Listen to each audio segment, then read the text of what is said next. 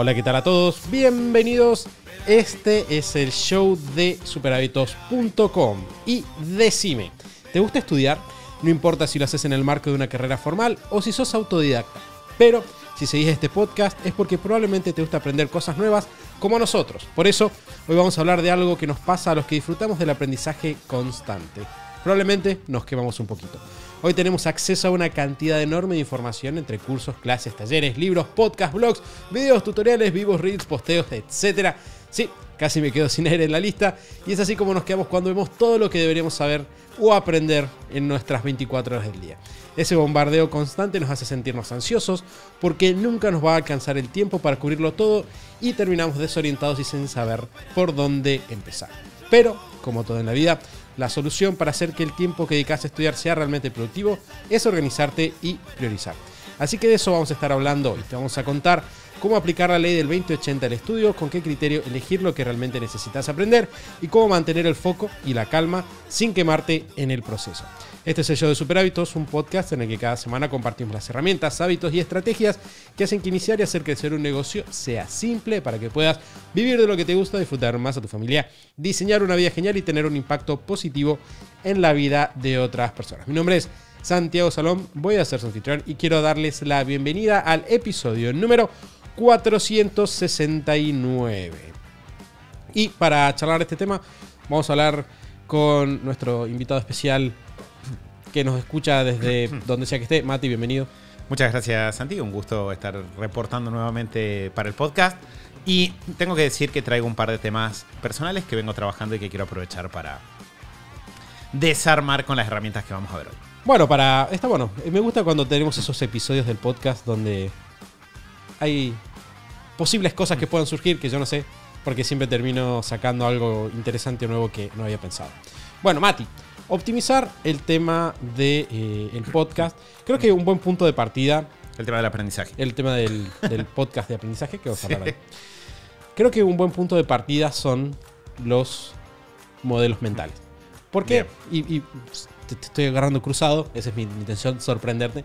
¿Por qué hablar de modelos mentales? Una de las cosas que caracteriza a los modelos mentales es que generalmente son eh, vienen de una disciplina, es decir, son un concepto que viene de una disciplina o de un área que se puede aplicar como lógica en muchas áreas diferentes. Y un, y un modelo mental que con vos hemos discutido muchas veces que es fundamental para nuestra manera de actuar eficientemente y que creo que se aplica en esta área es el siempre empezar con el objetivo en mente. ¿no? Es, el, es el modelo mental de siempre empezar con el objetivo en mente. Y creo que es un quizás un poquito obvio para los que ya nos escucharon hablar de este tema, pero para todos los que, son muchos que nunca nos escucharon hablar de esto, creo que es un buen punto de partida. Existe una noción de que todo aprendizaje es bueno. Y quizás todo aprendizaje es bueno. Es una buena pregunta, no lo sé. Pero lo cierto es que no todo aprendizaje es igual de bueno para nosotros. ¿Y de qué va a depender si un aprendizaje es bueno para nosotros o no? Así como si un proyecto va a ser bueno para nosotros o no, o si un proyecto va a ser bueno para nuestro negocio o no. Depende de a dónde queremos llegar con eso. Bien, es la famosa frase de Alice en el País de las Maravillas, ¿no? Si no sabes a dónde vas, cualquier camino te viene bien. Bueno, con el aprendizaje, si nosotros queremos empezar, para mí, a desenmarañar todas las posibilidades de aprendizaje que tenemos para la cantidad de tiempo limitada que tenemos para estudiar, lo primero que tenemos que hacer es decidir qué es lo que estamos tratando de conseguir con el estudio. Y mientras más específicos seamos, mejor. Que creo que es interesante porque al sumergirnos en esto, lo que nos tiende a pasar es que muchas veces pensamos cada una de las cosas individuales que queremos lograr con el aprendizaje. Entonces pienso, quiero aprender esto para este objetivo, quiero aprender esto para este objetivo pero nos cuesta resolver el global, ¿no? O sea, y yo dije que tenía una situación personal.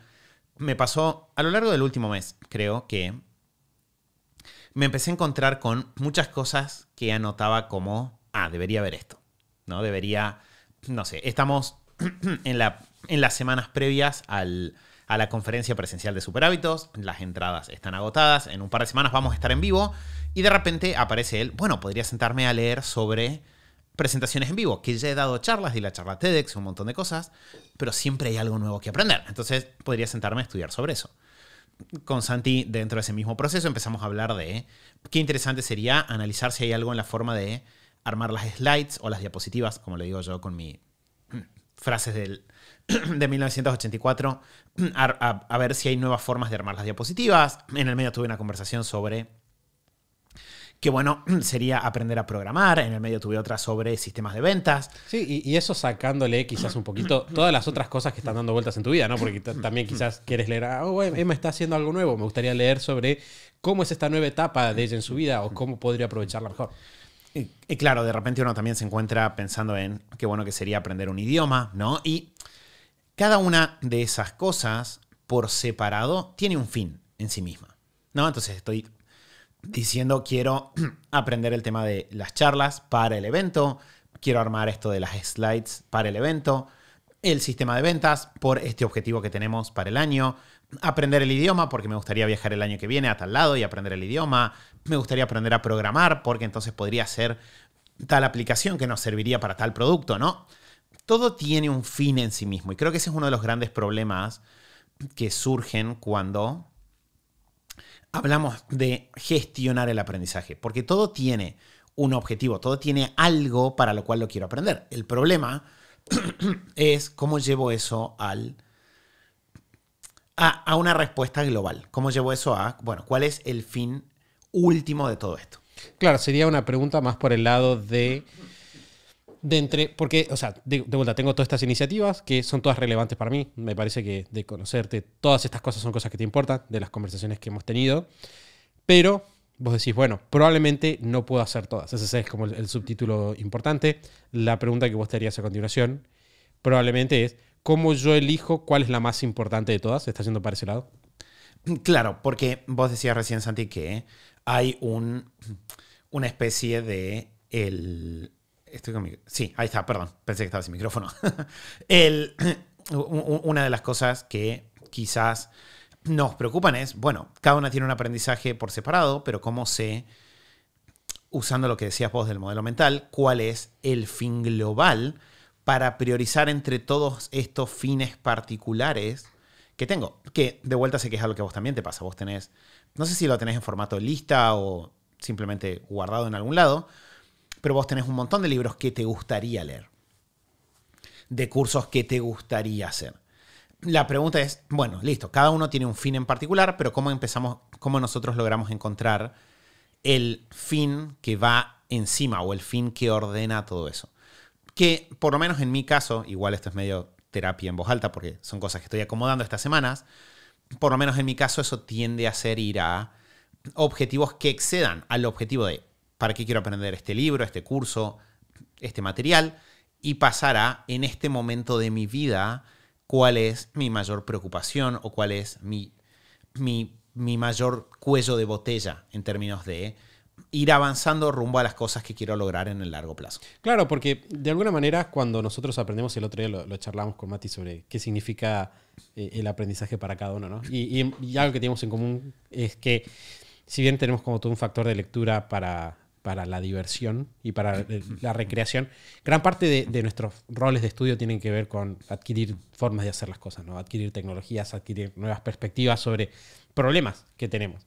Y creo que quizás el, primer approach que, o el primer acercamiento que uno suele tener es, y de vuelta vos, lo estás diciendo ahí y, y yo coincido, es cuál de todas las áreas que tengo dando vueltas en caso de resolverse tendría más impacto global o cuál es más urgente también, ¿no? Porque de repente una de las, de las charlas más nutritivas que he tenido en el último tiempo que, que tuvimos juntos fue esta charla, eh, fue una charla en la cual hablamos con Mati sobre cómo determinar qué es lo más importante en tu vida, ¿no? Y decís, bueno, ¿qué es lo más importante? Oh, sé que suena medio banal, y decís, chicos, ustedes vienen hablando de misión y visión, pero hay muchas veces que, que no es claro, porque de repente decís, bueno, claramente lo más importante para mí es mi familia, claramente lo que va primero es mi familia, estoy yo, después está trabajo, después hay toda una serie de cosas, pero hay veces que quizás, no sé, tu familia está ok, tu familia, tu trabajo está ok, pero hay un área de tu vida que está destruida, ¿no? Entonces quizás eso es lo más importante. ¿Y cómo manejar eso dinámicamente? ¿no? Porque es importante saber que quizás lo más importante está bien, necesito prestarle atención o poner primero otra cosa que es menos importante. es medio sutil, es muy avanzado. Tengo que decir que me sorprendió, y eso que vengo leyendo estas cosas hace muchos años, pero creo que la, la consigna es más o menos la misma. Es, antes de empezar a buscar técnicamente qué es lo primero que debería estudiar o del todo el universo de las cosas, tengo que preguntarme, bueno, ¿cuál de todos los desafíos que yo tengo enfrente mío hoy? Y pueden preguntarse de esa manera. A. ¿Va a traerme o va a tener más impacto en mis resultados a largo plazo? O, la otra pregunta que nunca está de más, es, ¿va a ser que sea más fácil resolver también los otros desafíos que tengo dando vueltas? Porque una, una cosa que es muy interesante es, el, nuestra mente atraviesa todo lo que hacemos. Nuestra mente atraviesa cómo usamos nuestro cuerpo, atraviesa cómo manejamos nuestros vínculos, atraviesa nuestro trabajo, cómo se ve nuestra casa. Entonces, cuando hablamos de aprendizaje, hay que aceptar, y yo creo que a veces es difícil eso, pero hay que aceptar que siempre va a haber más cosas para estudiar que el tiempo que tenemos. Y por lo tanto, tengo que darle un lugar hiper primordial a yo definir qué necesito o, cuál es mi prioridad. Que en este caso, como dijo Santi, va desde la misión, desde la visión y a partir de ahí, sobre todo, de esta sensación de cuello de botella. Hay una pregunta que a nosotros nos gusta mucho hacer en, en mentorías, en consultorías, que es, ¿qué cosa si la resolves va a hacer que resolver el resto sea más fácil? ¿No? ¿Qué aspecto de tu vida si lo acomodas va a hacer que resolver el resto de los aspectos de tu vida sea más fácil? De repente, yo digo, siempre vamos con este ejemplo, pero no sé, si yo logro iniciar mi negocio y que mi negocio funcione correctamente, eso me daría mucha libertad para atacar otras cosas. Bueno, en este caso puede ser que vaya por ahí. En este caso, si se fijan con estas preguntas que yo estoy diciendo, si empiezo a volver hacia atrás en la lista de cosas que dije, y bueno, probablemente en términos de priorizar, ese idioma que quiero aprender hipotéticamente para un viaje el año que viene, si estoy limitado de tiempo y no lo quiero hacer solamente por hobby, probablemente no va a ser la prioridad.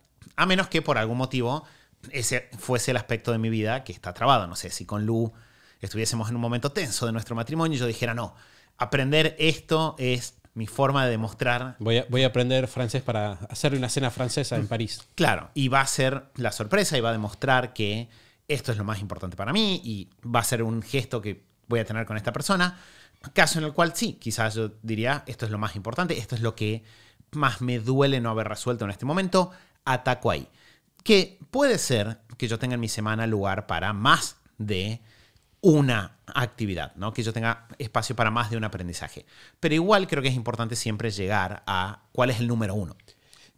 Sí, que creo que hay tres niveles en los cuales, porque en la introducción decíamos que íbamos a ver cómo, cuáles son los mínimos vitales, ¿no? Cuáles son las cosas que en caso de hacerse van a tener más impacto. Y creo que en realidad vamos a hacer cambiar la forma y verlo en tres dimensiones. En primer lugar, tenemos la dimensión de qué es lo más importante o cuál es el mínimo vital o el 2080 de entre todos los temas que yo tengo que estudiar. Bien. A partir de ahí tenemos un segundo nivel que también es bastante interesante y es una vez que yo digo, bueno, este es el objetivo que estoy tratando de taclear. Decir, bueno, de todas las formas para estudiar ese, objetivo, cuál es la que más impacto va a tener. Y dentro de esa forma estudiar cuáles son los conceptos o cuál es el camino más corto para llegar al objetivo. Que es una forma distinta. Yo voy a aclarar también que yo estoy muy a favor, y em, lo he dicho de vuelta muchas veces, de tener presupuestos de investigación sin objetivos. Bien, yo creo que es algo que es importante, explorar otras ideas, tener un tiempo de tu semana en el cual persigas conocimiento sin un objetivo claro, pero generalmente mi consejo es mantenerlo debajo del 20%. Es decir, porque, de vuelta, muchas personas están leyendo porque ah, qué interesante esto, y terminan saltando de, este es interesante, este es interesante, a veces este posgrado porque me divierte, y terminan gastando todo su tiempo ahí y no le dan lugar quizás a un tipo de conocimiento específico que quizás haría que su vida sea más fácil. Un típico conocimiento que hace que la vida sea más fácil es gestión del tiempo. Yo creo que es una de las áreas que primero deberías desarrollar porque posibilita todas las demás. Entonces, pues sí, bueno, está buenísimo si quieres explorar sobre eh, un poco más de antropología y la historia del hombre y cómo eso se conecta con la cultura, pero probablemente quizás si estás tratando de tener más resultados en tu vida, estudiar sobre esos temas o quizás descubrir cómo empezar un negocio o cosas por el estilo, van a tener más impacto ahora. Y hay un aspecto que me parece que es interesante, Santi, es entender que esto del 20%, cuando lo decís, ¿Te referís al 20% de el tiempo de aprendizaje o al 20% de tu tiempo en total? No, tiempo de aprendizaje. Que si se fijan, es un dato muy importante, porque yo tengo que analizar si yo me siento a ver mi semana, bueno, cuántas horas de aprendizaje tengo, incluso si estamos aprendiendo pequeñas cositas mientras operamos en el día a día, ninguna persona tiene Va, bueno, habrá personas que lo tengan, pero quiero decir, la mayor parte de las personas no tenemos mucho más de 10 horas, 12 horas de aprendizaje puros. De hecho, probablemente para muchas personas sea mucho menos que eso. Si nosotros en general, por ejemplo, en nuestros programas, cuando una persona se suma, partimos de la base de que tiene dos horas de aprendizaje a la semana y trabajamos para ir construyendo con esas dos horas una escalada hacia que tengan 10, 12. ¿no? Es como que ese es el proceso. O sea que 10, 12 tiende a ser un punto que la mayoría puede mantener cuando tiene buenos sistemas.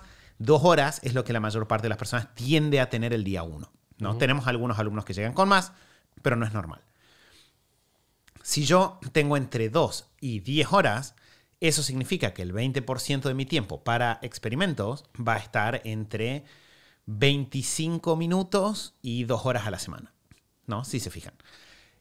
Y eso lo que significa es que claramente puedo dejarme ese margen libre, pero que el resto del tiempo tengo que ser muy deliberado. Y yo creo que esto que, que estamos hablando es opuesto a la experiencia que tengo cuando hablo con la mayor parte de las personas que están acomodando su proceso de aprendizaje. Porque la mayor parte de las personas, cuando me pongo a conversar con ellas, lo que me dicen es que están aprendiendo muchas cosas diferentes, que están divididos entre muchos proyectos, entre muchos cursos, libros que empezaron a leer y no terminaron. ¿no? Estamos completamente divididos y en realidad estamos con un tiempo de aprendizaje limitado, porque tenemos la vida ahí alrededor. Ese aprendizaje no está priorizado y encima tiende a ser casi 100% de aprendizaje experimental. Porque nos, de alguna manera es como que el rato que tenemos para, para aprender, tendemos a tirarnos más a cosas... Creo que tenemos más asociado la, idea de aprendizaje con problemas no inmediatos, ¿no? La idea de, quizás porque la escuela, no sé, como que sentimos que estudiar significa voy a estudiar esto que me va a dar resultados en el largo plazo. Cuando en realidad yo puedo tener un 80% de mi tiempo de aprendizaje que sea básicamente lo leo, me doy vuelta, lo aplico y automáticamente obtengo mejores resultados. Y yo creo que en términos de filosofía de aprendizaje eso es algo que a mí me sirve mucho a la hora de moverme. Quizás también es mi estilo de aprendizaje, ¿no? Pero a la hora de moverme me sirve mucho el tratar de filtrar entre todas esas cosas como, bueno, ¿cuál es la que destraba el cuello de botella? ¿Qué tiende a significar? ¿Cuál es la la habilidad que si yo la adquiero, me doy vuelta, le enchufo en el sistema y automáticamente noto una suba en, el nivel, en mi capacidad operativa. Sí, creo que voy a separarme de vos ahí un punto, pero no, no, no cambia la idea general. Porque, por ejemplo, a mí me gusta mucho, y lo hemos charlado mucho, vos tenés un estilo de aprendizaje más, más orientado a, a técnicas bajar, ¿no? Yo tengo un sistema, un tipo de aprendizaje mucho más orientado a conceptualizar y entender situaciones. A mí me sirve mucho cuando tengo que enfrentarme a un problema, entender como las reglas subyacentes de lo que está pasando, ¿no? porque siento que tomo control em, cuando entiendo todo lo que está pasando. Entonces, por ejemplo, yo sí tengo, cuando estoy trabajando sobre un tema, quizás voy a leer libros que quizás no son, o sea, no es que son un paso a paso, no es que es, ah, tutorial, ah, paso uno, paso dos, paso tres, paso cuatro, pero sí son libros sobre el tema y de alguna manera es como que siento que tengo un proceso de carga y de descarga. En términos de que por ahí quizás voy a leer 3, 4 libros que son simplemente es como que meto volumen de información a mi cerebro, es como meto volumen, meto volumen, meto volumen, lo voy dando vueltas y después eventualmente, ah, ok, y, es como que cerré las partes y eventualmente saco algo que es mucho más accionable. Es diferente, pero es igual en términos de que no es que estoy leyendo cosas porque sí, sino que estoy diciendo, bueno, ok, necesito entender este tema. Y aparte, ese es el siguiente nivel, ¿no? Es, por ejemplo, tenés que vos pensar qué es lo más importante y dijimos después, bueno, pero también tenés que pensar como cuál es la manera más rápida o más simple de, llegar a ese objetivo, porque cómo vos ejecutás tu estudio también es importante. Por ejemplo, yo puedo decir, ok, lo más importante para mi vida ahora es aprender a sistematizar eh, la comida familiar, por ejemplo. Ok, buenísimo. Bien, ese ya es un primer paso, pero el siguiente paso es, bueno, ¿cómo yo soy lo más efectivo posible a la hora de hacerlo? Y hay distintas maneras. Por ejemplo, una técnica súper específica para eso es que la, comparto acá, es yo siempre que voy a leer un libro, voy a buscar, o sea, siempre que voy a meter un tema, voy a buscar por lo menos 3 a 5 top 10 de los mejores libros de ese tema y voy a ver qué libros salen más seguido. Y una vez que haga eso, voy a elegir los libros más que salen más seguidos y voy a leer un resumen del libro. No pensando de que me va a dar la información del libro, porque no, sino porque no quiero empezar a leer nunca un libro sin saber si realmente habla de lo que yo quiero leer.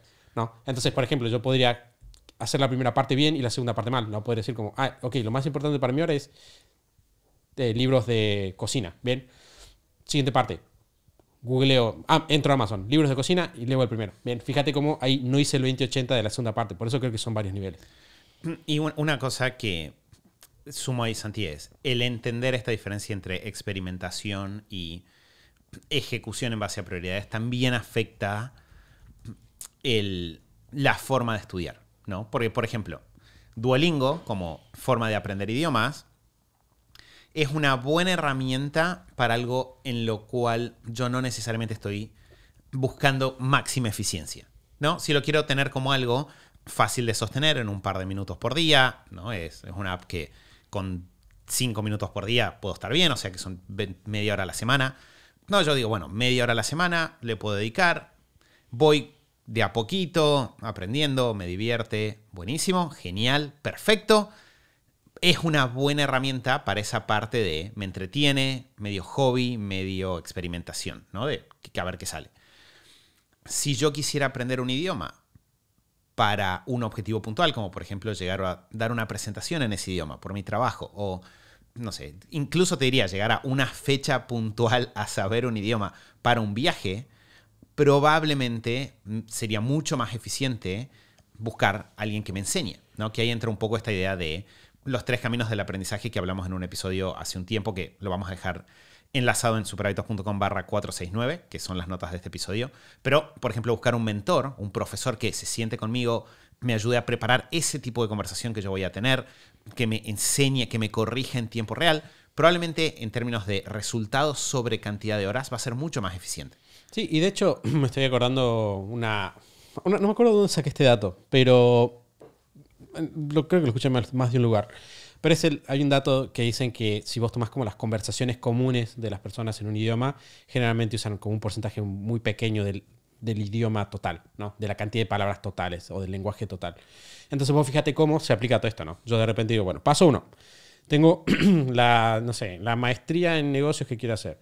Tengo el curso de idiomas, curso barra mentor barra app de idiomas. o tengo el objetivo de idiomas, pongámoslo ahí tengo el objetivo de estudiar algo para mejorar mi relación, tengo el objetivo de estudiar algo para mejorar en alguna habilidad interpersonal que me haga más carismático, por ejemplo. Bueno, de todos estos temas, ¿cuál es el tema que ahora, si lo muevo para adelante, va a tener más impacto? ¿Cuál es el tema que, si lo muevo ahora para adelante, me va a facilitar los siguientes temas que tenga después? Bien, a partir de ahí, voy a elegir un objetivo y voy a elegir cuál es el mejor medio para hacerlo. ¿no? Pero fíjate cómo cambia mucho el objetivo, me parece buenísimo el ejemplo que vos traes. Porque si yo digo, mi objetivo es dar una charla de negocios, bueno, hay, cursos literalmente que son, en inglés para negocios. Que probablemente lo que van a hacer es van a poner mucho énfasis en inglés para negocios y menos como cómo se dice eh, el gato está bajo la mesa, ¿entendés? En cambio, si yo digo, bueno, en realidad mi objetivo, que he escuchado varias personas decirlo, mi gran objetivo con el idioma es poder tener una conversación casual con una persona en la calle, bueno, fíjate que eso simplifica muchísimo tu estudio, porque no tenés que aprender cómo se dice juxtaposición en, italiano, puedes simplemente aprender cómo se dice hola, ¿cómo estás? Café, y buenísimo, malísimo, y de repente tenés, creo que, creo que alguien había sacado el cálculo, pero era como que eran, no sé si eran mil palabras o hay dos mil palabras que si vos las sabes dominar, tenés un idioma casi completo en las conversaciones normales. Que es súper, es, súper interesante porque cuando... Nada, cuando uno se mete en estos temas, de repente hay, hay personas, el, nada, está Walter en, la comunidad de GT, que Walter sabe muchísimo de idiomas. Y creo que sabe 17 idiomas, una cosa por el estilo. Incluido, no sé, sueco, creo que era, no, sueco, creo que sí, puede ser. Él sabe muchos idiomas. Alemán, austríaco, viste, algo así. El tema es que Walter, con todos los idiomas que sabe, es una persona que tiene un sistema para aprender idiomas. No es una persona que está sumergida en, bueno, aprendo los idiomas puntuales que me interesan, cómo los repaso, cómo los mantengo. Es un sistema extremadamente eficiente para un objetivo muy puntual. ¿sí? Ese tipo de, de resultados, y yo creo que eso es lo que es importante de alguna forma traer acá. Nosotros venimos desde arriba, ¿no? Prioridades. Sobre prioridades viene modo de ejecución. Y en modo de ejecución tenemos el qué estoy tratando de lograr, qué tan importante es esto para mí y cuáles son los diferentes caminos que tengo. Porque tiende a pasar que las personas nos tiramos a algún formato de aprendizaje que nos resulta cómodo. Hay personas que se sienten muy cómodas escuchando podcasts, hay personas que se sienten muy cómodas escuchando videos en YouTube o viendo videos en YouTube, personas que les encanta leer, personas que... Pero no siempre el formato que a vos te resulta cómodo es el formato que vos necesitas para el objetivo que estás buscando. ¿no? Entonces, a mí me encanta, esto que decías antes a mí me encanta sentarme a directamente trabajar en las cosas. Pero yo tengo que aceptar que hay un nivel de complejidad, por ejemplo, no sé, en lo que hace a modelos de negocio.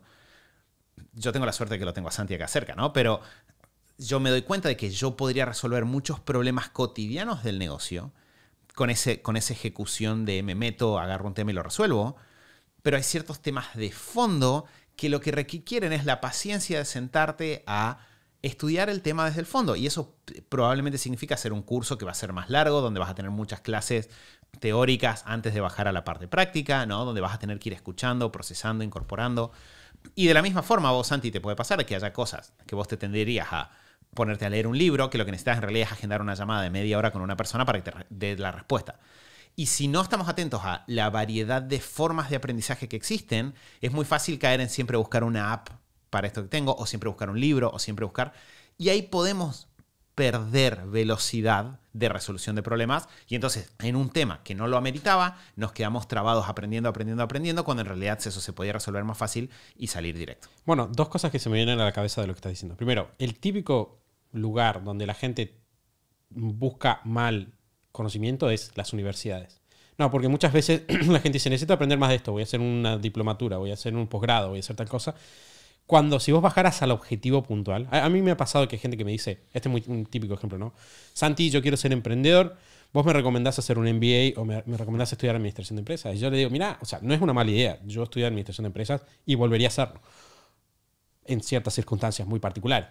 Pero, si vos decís, bueno, ¿qué es lo que quiero saber puntualmente? Si vos lo definís, en realidad te vas a dar cuenta de que probablemente en una carrera universitaria vas a ver mil pavadas que jamás vas a usar vas a estudiar, no sé, macro, cartelización, macroeconomía, qué sé yo. Sí, y sumale que vas a tener que estudiar distinto porque estás estudiando para rendir, no solo para aprender. Exacto. Eh, y, de repente, fíjate que ahí tenés como todo un, toda una gran pérdida de tiempo. Sí. Que me, me, parece interesante, de hecho, este ejemplo que vos traes, Santi, de cómo, fíjense, a veces hasta no es solamente el de dónde voy a estudiar, sino también cómo lo estoy estudiando. o sea, fíjense cómo lo que queremos que vean es su mente atraviesa todo lo que hacen. Su capacidad de adquirir conocimientos para su mente y a partir de ahí volcarlos a partes de su vida va a afectar su productividad y felicidad sin lugar a dudas. El tema es, no estamos estancados en este mundo donde hay un exceso de información y nosotros tenemos tiempo limitado y no hay nada que podamos hacer, sino que tenemos muchos recursos a nuestra disposición. ¿no? Ya hablamos de priorizar. Y fíjense cómo incluso cuando decimos, bueno, quiero estudiar a fondo, entonces este es un tema grande que para mí ameritaría estudiarlo como, como si fuese una carrera universitaria. Bueno, pero ahí de vuelta hay una pregunta y es, ¿qué es lo que vos querés? ¿Querés el título de la carrera universitaria o querés el, el proceso de aprendizaje de la carrera universitaria en términos de ver diferentes temas y, y estudiarlos de forma general? Porque es distinto, ¿no? Y, o sea, es completamente diferente y de hecho probablemente una carrera universitaria de cuatro años uno la podría hacer en dos si no estás pensando en rendir y simplemente estás pensando en consumir el contenido, ¿no? Porque de repente sacas todos los requisitos extra que te genera el pensar en cómo yo incorporo esto para presentarlo como le gusta al profesor que me va a tomar el examen, ¿no? Son dos cosas completamente diferentes. E incluso ahí hay un pasito más, Santi, que es el tema de y lo estamos dejando para el final porque creo que también es algo que va al final en términos de la planificación, que es las técnicas que utilizamos cuando nos sentamos a estudiar. ¿no? O sea, muchas personas, que esto es otra cosa que pasa un montón, parece que estamos renegando en este podcast, pero en realidad lo que estamos tratando es que vean potenciales errores. El, una cosa que muchas personas hacen es leen y simplemente leen. ¿no? Leo, leo, leo, leo, leo, cierro el libro, sigo a otro. Leo, leo, leo, cierro el libro, paso a otro. ¿Qué es lo que yo hago con los libros de ficción?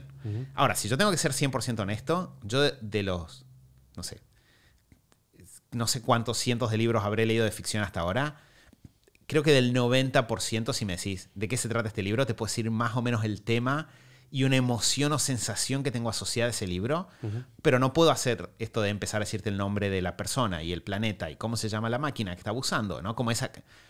Porque son temas que los leí y nunca más los repasé. Y el repaso es una parte importante de, retener y de usar la información. Lo mismo el apropiarte, el marcar, escribir, hacer mapas mentales. Entonces, también cuando decimos es estudiar libros o cursos o incluso ir a sesiones con mentores, no es lo mismo la persona que está tomando notas, que está involucrada activamente, que la persona que no. Sí, yo creo que. nada, este es un tema absolutamente apasionante porque en realidad, si, vos, si volvemos al comienzo del episodio y vos empezás con una idea muy clara de qué es lo que estás tratando de conseguir, vas a terminar teniendo un sistema complejo. Y de alguna manera lo que estás haciendo, estás decidiendo sobre el tipo de persona que quieres ser. Porque cuando vos estabas hablando del tema de los principios, me acordaba de, un amigo mío que fue una de las primeras personas con las que me, me, encontré que genuinamente entendía física y matemática. Y me acuerdo que charlando de cosas, siempre que hablaba con él me sorprendía el hecho de que él, deduciendo en voz alta, siempre se preguntaba sobre el origen de una fórmula, por ejemplo, y pensaba el problema de la fórmula para arriba, ¿no? Decía, bueno, pero el principio, lo que está de fondo es esto. Que me pasa mucho hoy en día, por ejemplo, cuando, cuando charlo con Mari, que es mi esposa, que es gastroenteróloga y tiene como un entendimiento muy, muy profundo de la química y la física de, del cuerpo. Entonces, por ejemplo, a veces se plantea como, che, está, está mal esto, y dice, bueno, en realidad la proteína tal sale tal cosa. Entonces, pues, ah, claro, vos estás entendiendo, no me estás diciendo la dieta Z funciona porque hay un estudio que lo prueba, me estás explicando, no sé, la otra vez explicaba por qué el gluten es un problema, ¿no? Decía, porque genera permeabilidad. Y ah, ok, nunca lo había pensado, ¿no? Y yo creo que todos en algo podemos ser así. Está bueno, por ejemplo, algo que, que me gusta mucho hacer entre Supraitos y creo que, que lo mantenemos bastante bien es siempre pensar los problemas de negocio desde, desde el principio fundamental financiero del negocio y pensar desde los elementos clave de eh, un modelo de. Y a veces nos pasa de que alguien se sienta a charlar con vos y le dice, bueno, pero en realidad tenés que empezar de acá y acá y acá. Ahora, hay una decisión ahí y es la decisión de, en, porque, ¿en qué vas a hacer vos eso? ¿En qué tema te va a valer la pena vos dedicarle el tiempo, la capacidad, etcétera? ¿Va a ser idiomas? Porque vos podés ser el pibe de los idiomas, podés ser el pibe del piano, podés ser el pibe de la física, de la nutrición, pero difícilmente vas a poder ser el pibe de todo.